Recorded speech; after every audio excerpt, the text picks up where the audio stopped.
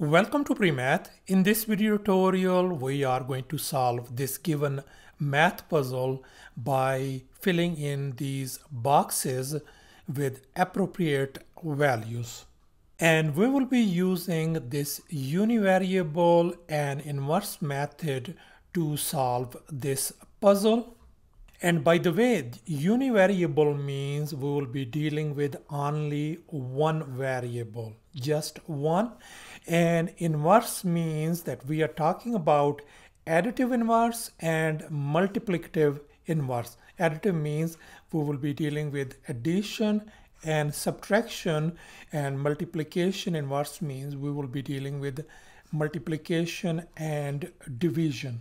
Let me remind you that I have already uploaded the very first method of this very same problem and today I am going to show you the second method as well. Therefore, I will highly recommend you that you watch both of these videos for the sake of comparison. And please feel free to give me your feedback as which method is more desirable.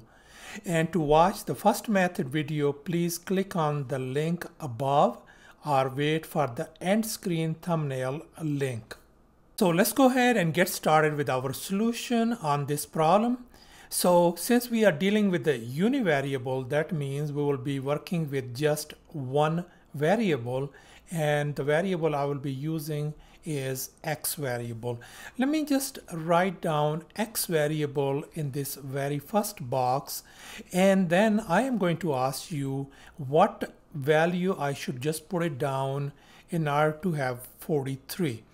As we can see that we have x over here and we will be using the inverse method, the additive inverse of this x is negative x, so this box is going to have 43 minus x. And if you can add these one, x plus 43 minus x, we will indeed get 43. And now we are going to apply the same strategy when we are dealing with this column over here. And as you can see, we got X over here. We need to fill out something in this box to get a 31. So again, I'm going to write down 31 minus x, isn't it? And now as you can see, if I add x plus 31 minus x, x and x is gone. So we ended up with 31. So far, so good. And now let's go ahead and focus on this row over here. And as we can see, we got a 31 minus x in this box. We are supposed to put down something over here. If we divide, we should get a 13. And this time we will be dealing with the division and we know the inverse of the division is multiplication. So therefore we are going to write down 31 minus x divided by 13 and that is going to give us 13 and if you are wondering how I got this quantity over here, let me go ahead and explain it over here. We got this quantity over here divided by this one is right up here. And then what I did is, since we are dealing with the division, if we put a multiplication sign, we have to flip this one over and we got 13 over 31 minus x and you can see that these 31 minus x, both of them have gone and so we end up with 13 and that's what we're supposed to have.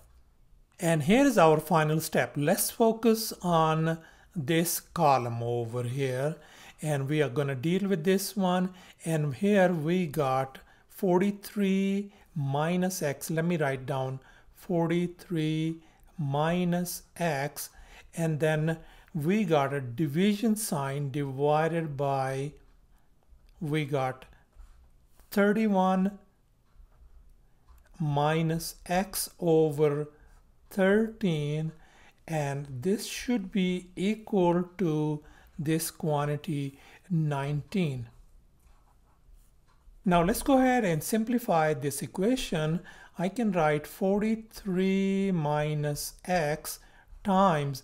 I'm going to convert it into a multiplication by just flipping it over 13 divided by 31 minus x equals to 19 so far so good now let me go ahead and put a 1 underneath this 19 to make it a fraction and now we are going to cross multiply let's go ahead and do that one so that means that's going to become 1 times this thing is going to be simply 13 times 43 minus x equal to 19 times this thing so that's going to be a 19 times 31 minus x. And now let's go ahead and distribute these one. That's going to give us 559 minus 13x. And likewise, we are going to distribute this 19 as well. That's going to give us 589 minus 19x. Now let's move this 559 on the right hand side and move this negative 19x on the left hand side to make things simple. So we are going to get negative 13x and this negative 19x is going to become positive 19x. We got on the right hand side 589 and this is going to become negative 559 and let's simplify on the left hand side. That's going to give us 6x equals to 30. Let's divide both sides by 6. So x turns out to be our 5 value.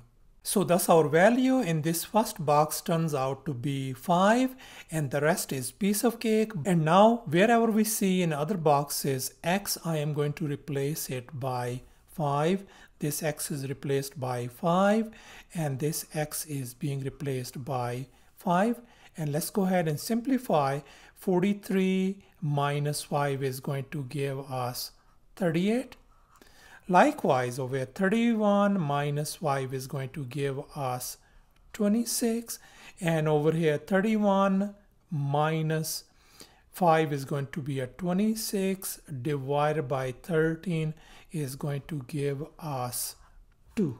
So thus our final values turns out to be a 5, 38, 26 and 2 by using this univariable and inverse method.